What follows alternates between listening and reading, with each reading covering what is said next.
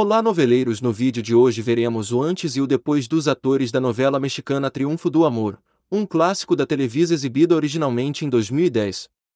Mas antes de começar peço que deixe seu like e seu comentário sobre o que você achou, qual o personagem que mais te surpreendeu, se você ainda não é inscrito no canal inscreva-se e ative o sininho das notificações para não perder os próximos vídeos do Mundo das Estrelas. Vamos estar sempre te atualizando de tudo. E bora lá para o vídeo. So